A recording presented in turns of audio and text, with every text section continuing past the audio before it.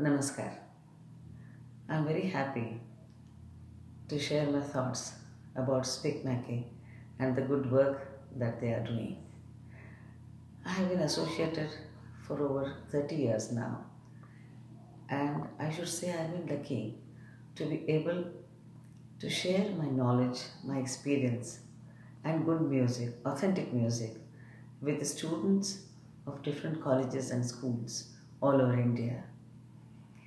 SPIC MACAY is a movement.